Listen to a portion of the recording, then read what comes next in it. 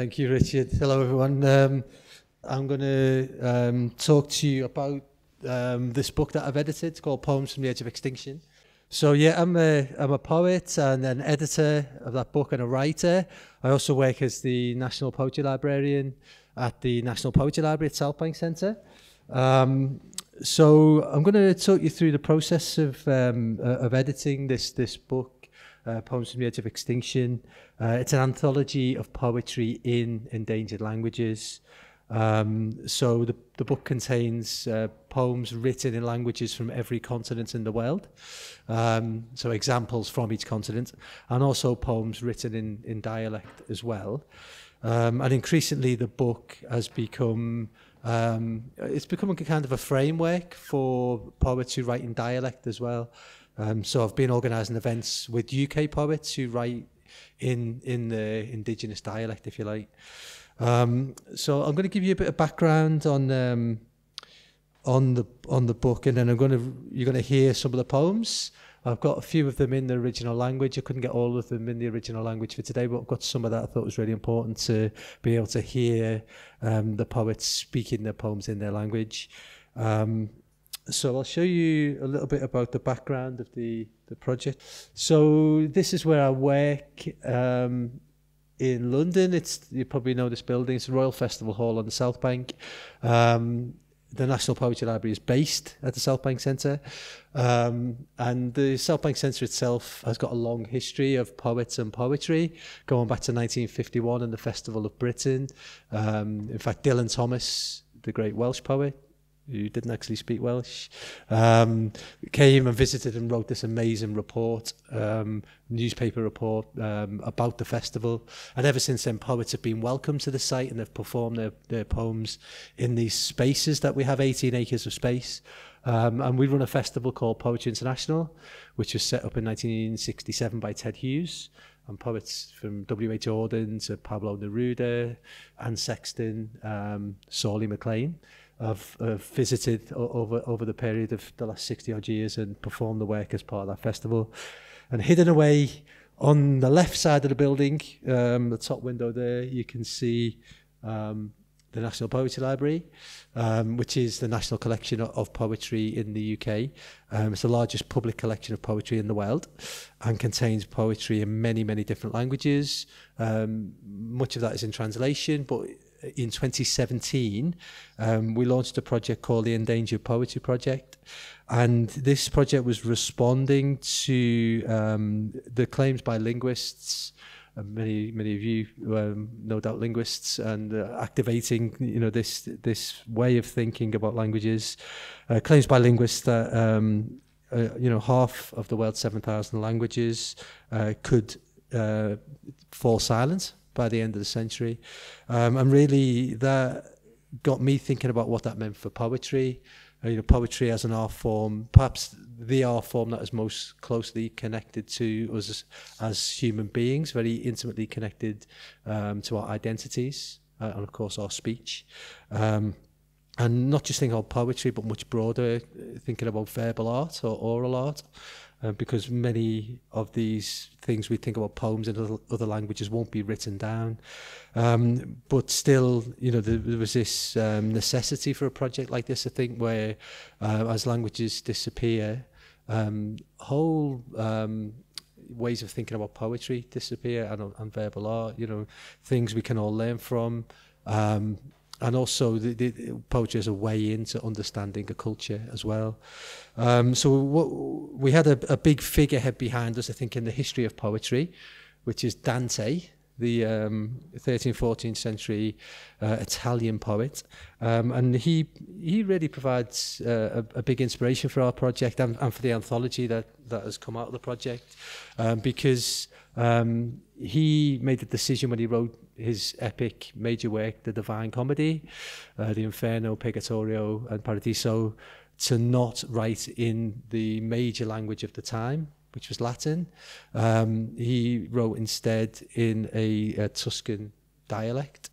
Um, and he underpinned his thinking of this by writing an, an unfinished book uh, called De, uh, De Vulgari Eloquentia, um, which argued for the vernacular to be given the same legitimacy as Latin. Um, so he'd obviously thought long and hard about this, and he was way ahead uh, of most people thinking about language at that time because he saw language uh, very much as a fluid thing. It wasn't this static entity that had should have automatic privilege. He saw it as a fluid, ever evolving uh, material, if you like. And how right he was because um, his his book has had such an impact in Italy. It's played a part in the spoken form of Italian becoming the, the, the standard Italian of today, if you like. And for that reason, he's often described as the, as the father of the Italian language. So we had a great figurehead behind us. Um, and we um, announced that we were going to do a call out um, for people to send us their poems, um, poems they knew in endangered languages from the UK, but anywhere in the world. It could be written, it could be audio. Um, we were lucky to get The Guardian behind it, so they um, um, put this piece out on National Poetry Day in 2017. And from there, we had people submitting their poems through to us. Um, in an Italian dialect, Sardinian dialect, which was a nice connection with the Dante, um, in some of the UK languages, of course, um, but also as far away as Malaysia. You know, somebody had heard about it and um, sent us a sent us a poem in a in a language called Kristang. Um, so I just want to start with um, like playing one of these poems that was submitted to us. It's in Shetlandic.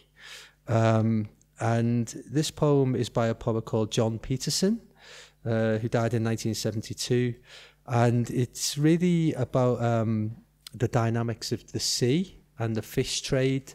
Um, and it recounts um, the quite precarious lives of, of Shetlandic fishermen um, who um, would have to make a decision while they were out at sea whether to um, bring their haul back to Shetland and sell it in Shetland, or to go much further to Aberdeen or Peterhead and to to sell their fish there.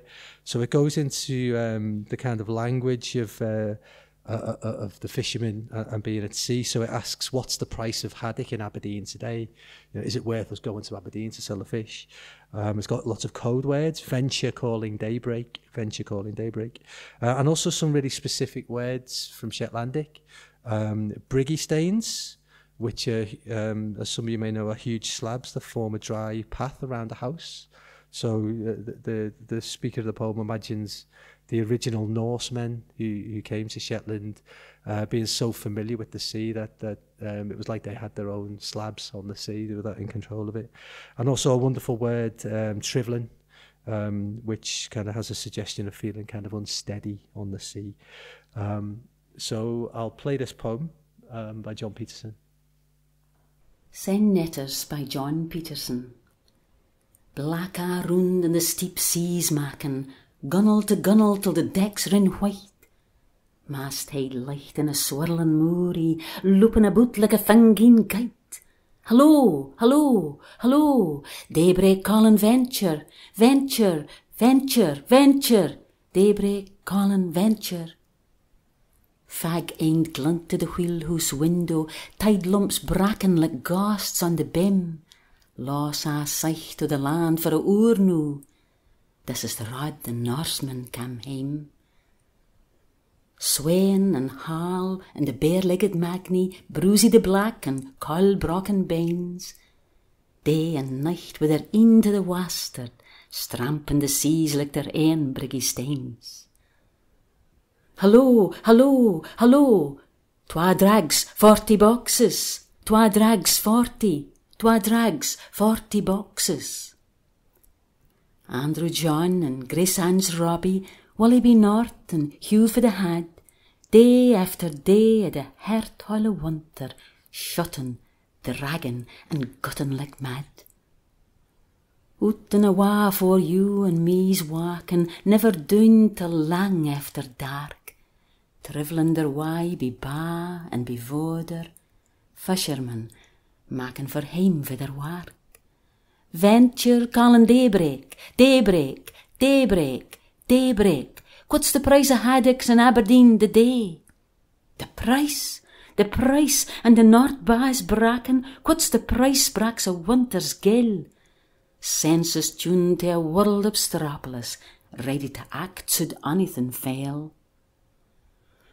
What's the price in the squall comes dirlin, black car round, nor even a glim, compass, wheel, and a e to windward, had in the rod the Norseman came home. Christine De Luca, who submitted this poem, she talks about how there's something both very familiar and yet different in Shetlandic. Um, you know, it, it, it, what she's saying is it sounds maybe quite similar to Scots. Scots speakers would follow a lot of it, but there's um, because it is obviously a dialect of Scots, but there's something um, of Scandinavia in there as well. Um, and Shetlandic is defined by UNESCO as a vulnerable language. Um, so in this book, um, I kind of followed the UNESCO um, map of indigenous languages, really useful resource, which um, you know shows you the Wales languages and and uh, gives you um, a definition of where UNESCO believes they are in terms of endangerment from uh, vulnerable through um, to um, definitely endangered or critically endangered. Um, but I wanted to move away from that as well. I didn't want to be tied to the UNESCO definition of things because we live in a world in which language is politicized. Um, and often um, there is a great level of endangerment to speakers of a language, even though that language might have millions and millions of speakers. Uh, so, for example, we uh, I included the Rohingya um, language in the book. Um, at the time of, uh, of editing the book, um, about 650,000 Rohingya people have been forced from Myanmar to the edges of, of the country to live in camps. Um, and they were facing murder and rape and arson. Um, and of course, you know, this is intimately linked with language because in Myanmar, their, their language, the Rohingya language, does not have any status and it, it's not, it doesn't have a written form and the infrastructure doesn't allow them to access things like, you know, healthcare and things like that. Um, and also sometimes actually the act of writing poetry is a rebel act. Um, so I included some poems um, by Pashto women writers. Pashto has about 38 million speakers miles away from being endangered. However, um, to write poetry as an Afghan woman is an incredibly dangerous thing to do. Um, and um, a, an American journalist uh, traveled to Afghan following the death of a young female poet called Rahila Muska. Um, she had set herself on fire in protest at not being allowed to write poetry. Um, and um, Eliza Griswold, the journalist, she met many of these um, Pashto-speaking women who had to whisper the poems to her. Um, they had to go to you know secret places to be able to share the, the, these these things, and the really funny, witty, kind of amazing works of literature, uh, and really contemporary. Um, and if this all sounds like a million miles away from the UK, it's worth thinking about um, the um, you know, this the the case of oppression really from Edward I in the in the 13th century. Um, so uh, King Edward I of England. Um, I should apologise for, for mentioning King Edward I in Scotland. So, um, but it's also the good because it's it's about resistance. It's about rebellion. Um, he obviously um, went to war with the Scots. He also um, you know tr trounced the Welsh, and um, he um, he apocryphally, um, but there's enough source to, to say this is true. He um, killed 500 Welsh bards who refused to sing his praises, uh, and the story goes that there was one final Welsh bard. Um, in this picture, this is a picture by William Blake um, of the final Welsh bard um, pl plunging to his death in the sea rather than you know give allegiance to King Edward. Um, so, you know, it's not that long ago, really, that, that this situation with being endangered as a speaker of a language and as a poet existed in this country. Um, and I'm just going to just go off the UK slightly for a sec, just not too far away though, because um, I want to think about um, uh, this idea of politicised language, but also what happens kind of in the body of the speaker where the language is oppressed. Um, And uh, we had this poem submitted to the project um, in Alsatian. Um, so Alsatian being a language spoken historically in Alsace. Uh, we've got Als uh, Alsatian. Uh, almost. I'm yeah. almost from there, but kind of. Fantastic. That's I really used to good. live in Strasbourg anyway. Yeah, yeah, that's, that's, that's really great. Um, so, I mean, you, you'll know more about the background of this, but um, the the poem's written by a French poet called uh, Claude Vigier, who spoke Alsatian as well. And he writes this poem um, about being at school um, in France after the Second World War. And um, it's suddenly being um, um, not allowed to speak Alsatian. Um, and they had this um, pro, um, policy in France of unremembering Alsatian. So the children went back to school and um, there was posters on the wall in the school that said things like um, um, learn a new French word every day and forget a, forget an Alsatian one. You know, it'd be as simple as that. Um, but in this really wonderful poem, um, Claude Vigée, he, he kind of gets inside what that felt like i- i- in their bodies as, as, as speakers of that language, to have to fight back the language that was intimately connected to their identities. It's called Black Nettles Blaze in the Wind. Since it's erupted in our windpipes as quickly as it had vanished, gulped down at the bottom of our wells, the forever silenced language of childhood. Why do we stand there like helpless beggars, all dazed and crooked, bare hands extending?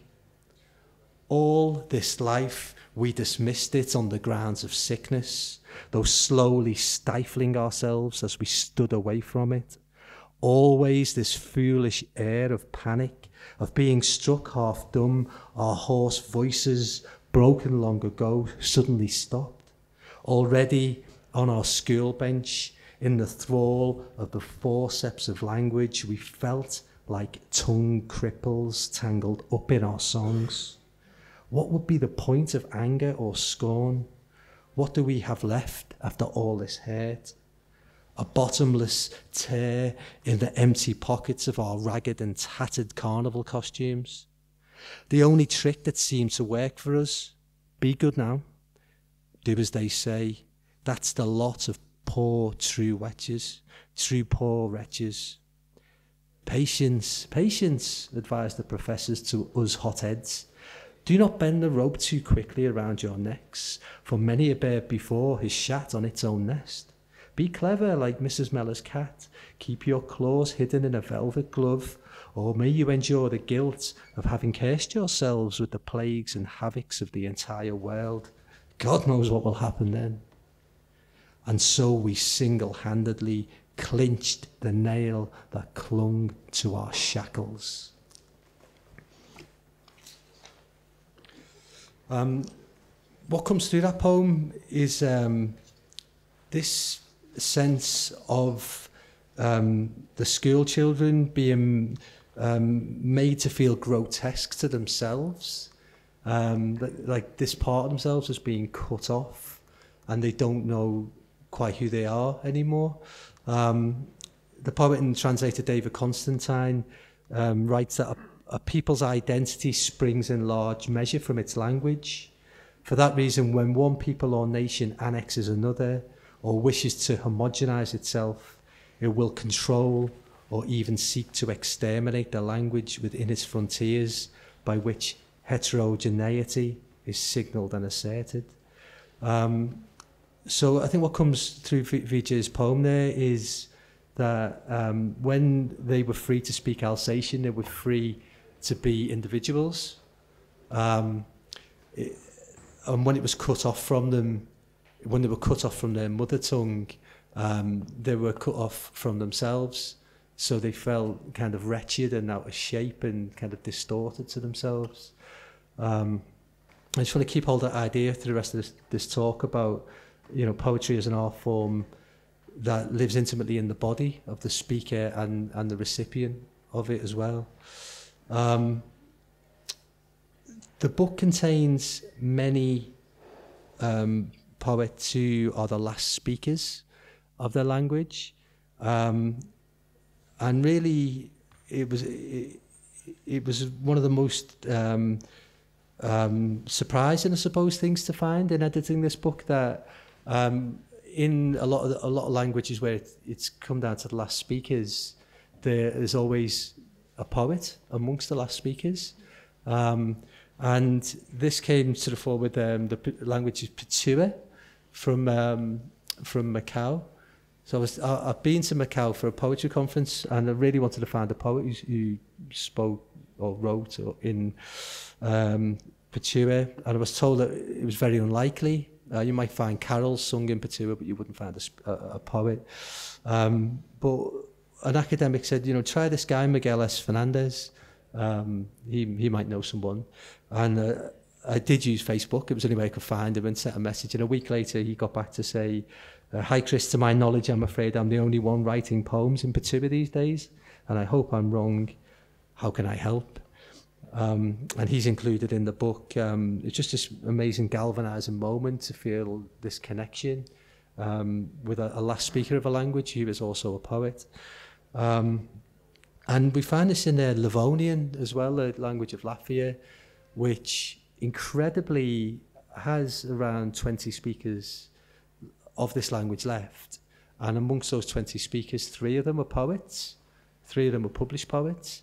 Um, so you have this kind of ratio where um, you know the number of speaker, uh, poets to speakers increases as the language language decreases, or as the speakers of the language decrease. Um, and you know, Livonian has been reported by UNESCO um, to be a, a dead language, um, and that's absolutely not the case because I've, I've been on a stage with one of the speakers of that language, who's a poet, Valt, Valt.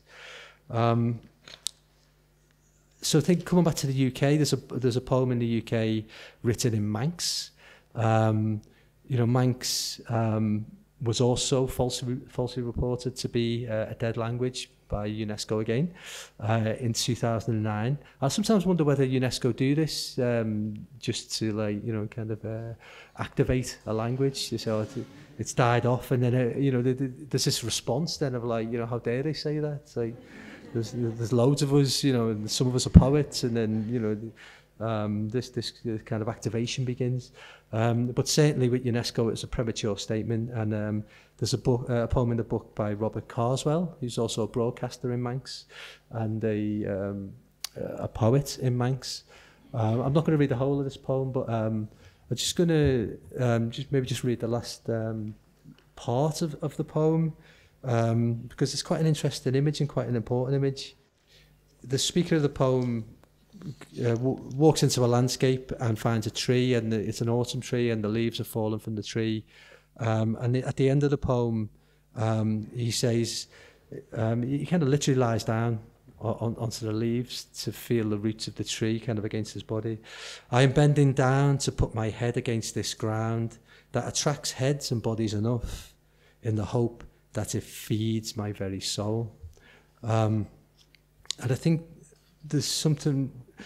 Well, the first thing to say, I suppose, is um, you read a poem like this very differently when it's being written in a in an endangered language like Manx. It's it's kind of impossible to um, engage with this poem and not think about what this says about the language itself about leaves dying and about the roots of the tree, um, but also really important, importantly about the body of the speaker, the, the body of the speaker in which the language lives, uh, as the one who carries the language, um, and this thinking about the, the past and, and the future, and the speaker being that connection between the past and future speakers as well.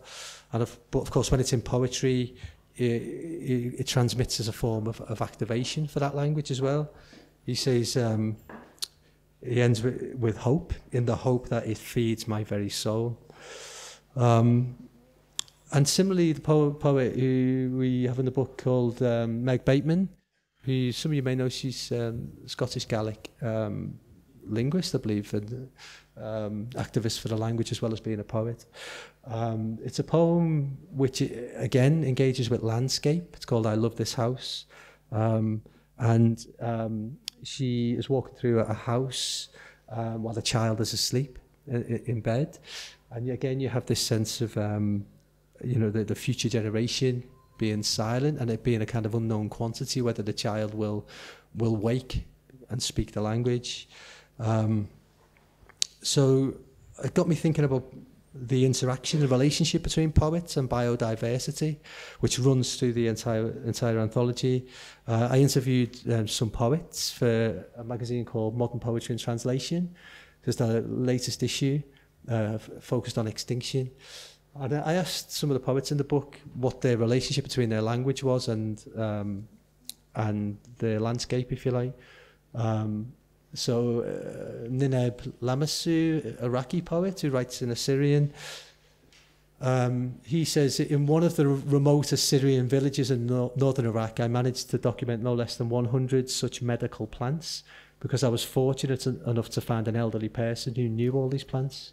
Last year, this elderly person passed away, and this year I visited the village and no one knew these plants and what they were used for.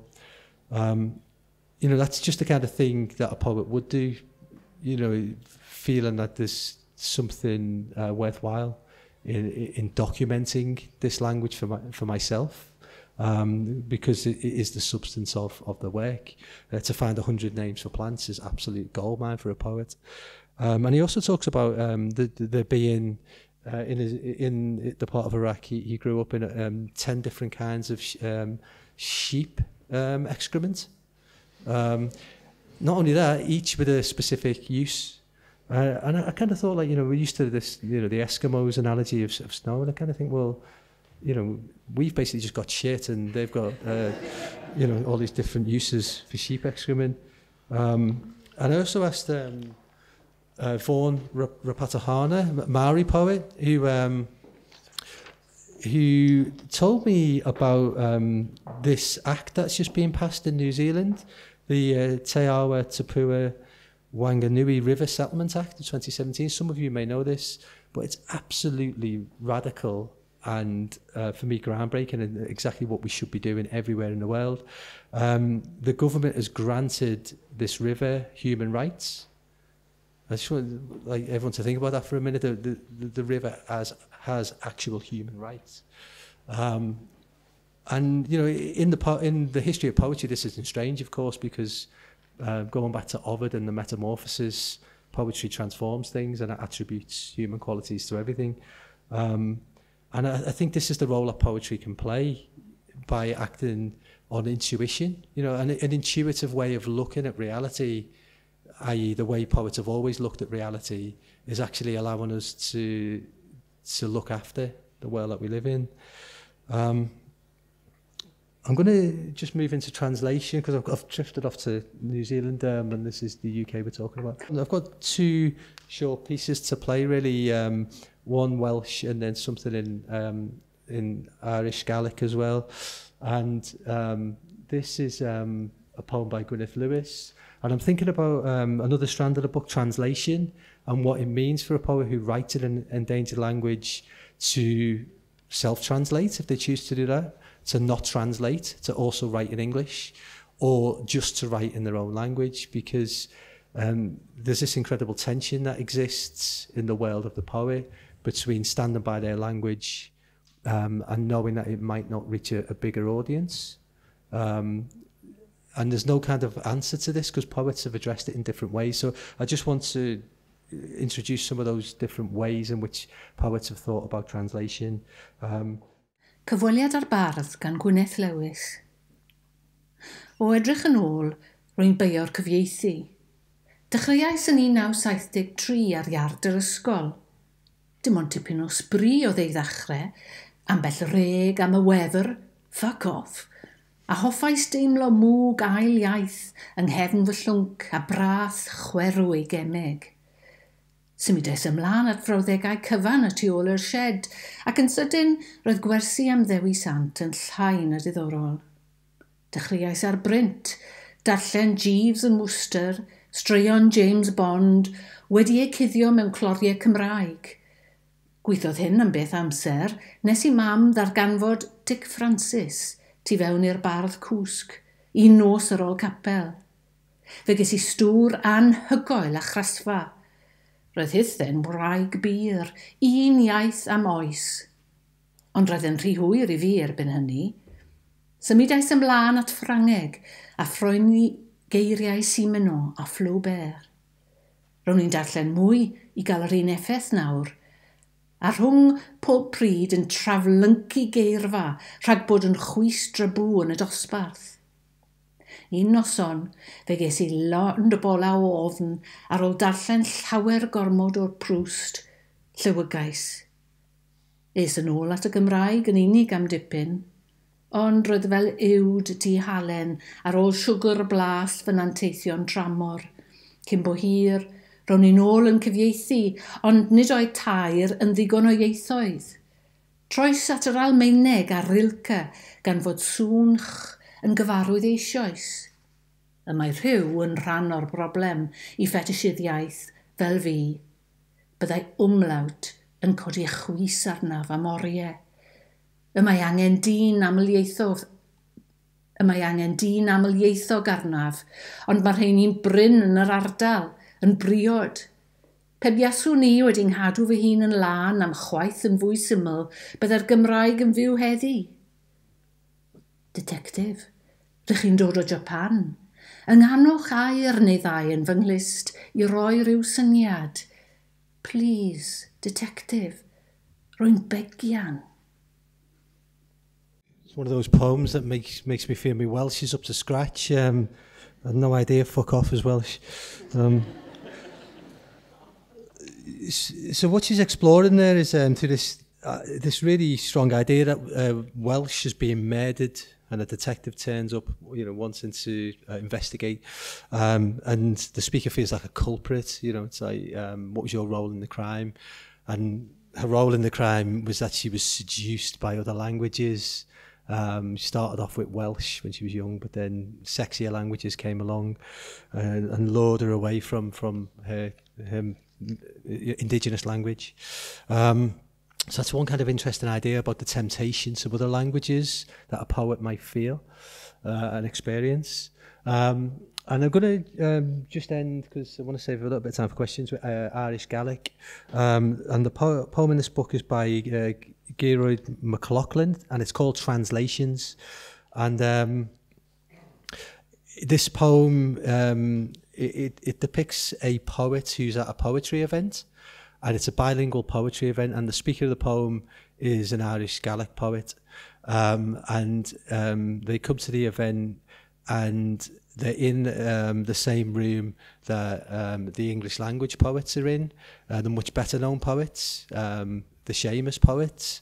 Um, and the poet suddenly feels that they're a fad like the, a kind of um, a, a tokenistic gesture, if you like. No one really gets it, but you know it's good to have a bit of Irish Gaelic in, in, in the room. Um, and we, we worked at the National Poetry Library with the National Theatre uh, uh to make a video on this. Um, it's a short two, two minute video, I'll play it now.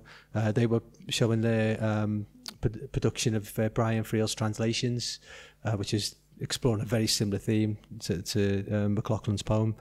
Um, and the, the video is set inside the National Poetry Library, and with McLaughlin's permission, uh, they used two actors to to kind of um, play out the dynamics of his poem in his language. Um, so I think Richard's going to just click this on for me now, is it?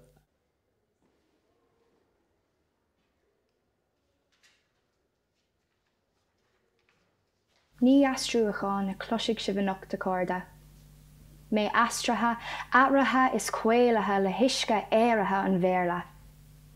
A dhéanaach lemonád thuúlíach déon darab ma cuid filiíochta. No. Tonight there will be no translations. Sure, I'm not. What am I doing here anyway? Is this just the latest fashion? A fad. The bilingual reading. Poetry a squelga. Had the world gone mad? Anima, Irene tú tíirseach de clúsa fása airnacha. Féin sásamh an managlat a déirlaat. It sounds lovely. I wish I had the Irish. Don't you do translations? Idig stána arm gomór húlach. Mar a stána choréon carna curran, Mí compóir de canálarthe.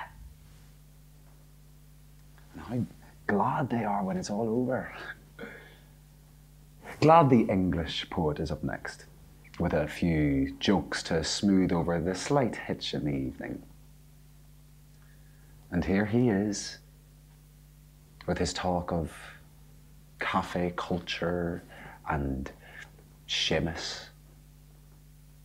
Here he is to prove to them they are witty, broad minded, and cultured.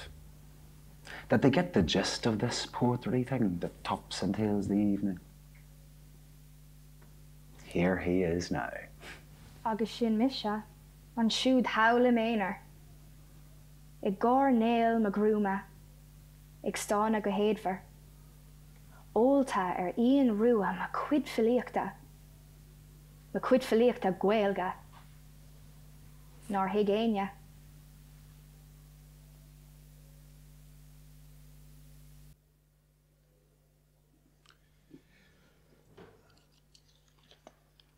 feel very English. Um, so uh, that's on YouTube as well, so you can you can watch it again if you like. Um, I'm just I just want to finish with um, I mean, there's so many questions that raises that that that video. Um, you know, I think it's in the video itself. Um, and maybe we can talk about them in, in the question shortly. But I just want to finish on um, uh, a, a quote, um, or well, it's more than a quote really. It's something I believe in. Um, that poetry isn't separate from from its languages ever, um, and linguists, um, some linguists have made real claims for the for the importance of poetry in terms of understanding um, a language. Um, Roman Jacobson, um, you know, the great theorist of the 20th century, um, said that the linguist whose field is any kind of language may and must include poetry in his study, or her study. Um, and um, he was friends with Vladimir Mayakovsky, one of the you know, great 20th century poets. Um, and more recently, Nicholas Evans in his book uh, Dying Words, um, he he writes that the emergence of a particular special device in oral literature, a new language game cutting syllables in a particular way, or a new type of alliteration, or a new metrical template in poetry, can actually nudge the whole language system in a particular direction by adding another cookie cutter for speakers to use the dough of the speech around them. It is for this reason that a co-evolutionary framework is helpful in studying verbal art. It reminds us that the impact of artistic creativity does not stop at the work itself, but flows on to the rest of the language system. Um, so I just wanted to, to end on that note because um, you know, I don't I don't think that poetry is separate from language in the same way as poets aren't separate from humanity. Um, and this image that Nicholas Evans gives us is, is really useful, I think, with kind of um, something invented in poetry can be like a cookie cutter, kind of cutting out the dough of language, and that can be passed on to the whole of the language system itself. Um, but yeah, I'll stop there. Thank you very much.